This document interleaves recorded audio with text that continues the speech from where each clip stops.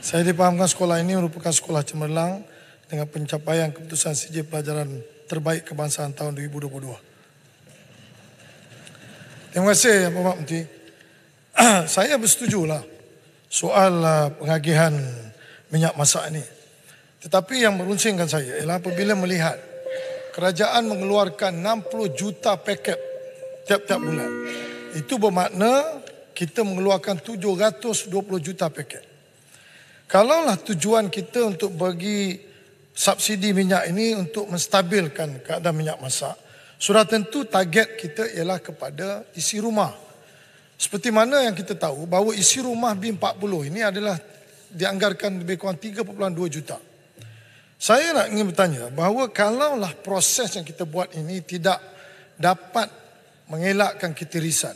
Contohnya dulu bila kita bagi subsidi ini kerana harga minyak sawit meningkat, jadi kita ingat nak bagi kepada golongan B40 supaya mereka dapat menggunakan minyak masak ini tanpa membeli harga yang tinggi. Tetapi apa yang berlaku oleh kerana ada ketirisan, akhirnya ketirisan ketirisan ini dulu dia ekspor.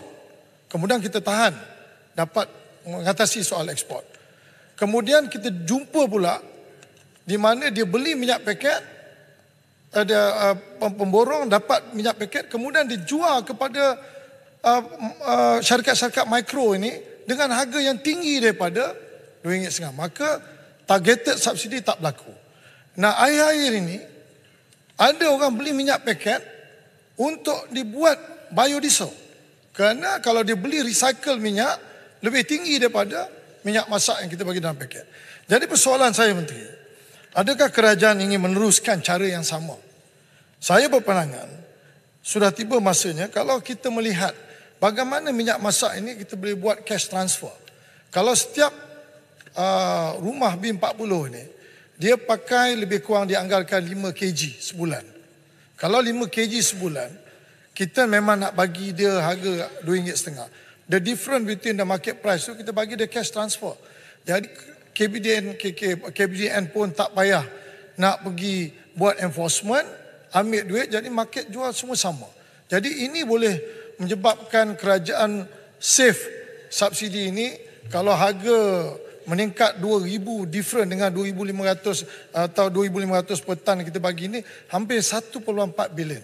Saya ingat pada 6000 waktu ketika CPO 6500 kita bayar hampir 4 bilion. Jadi saya cadangkan bahawa adakah kerajaan ingin meneruskan cara yang sama? Sistem subsidi pukal ini adalah satu sistem yang diwarisi oleh kerajaan pada hari ini. Ya dan tentu sekali uh, kerajaan pada hari ini uh, sependapat uh, berkenaan dengan penyasaran subsidi. Kita akan bermula dengan penyasaran subsidi bermula tahun depan dengan diesel dan sebagainya untuk mengelakkan ketirisan. Tentu sekali minyak masak dalam paket ini di dalam senarai uh, uh, penyasaran subsidi tersebut ya yang berhormat Titi Wangsa. Uh, kita tidak akan teruskan perkara yang sama dan memang kerajaan pada hari ini amat gusar dengan apa yang dikatakan oleh yang dikongsi oleh yang berhormat Titi Wangsa tadi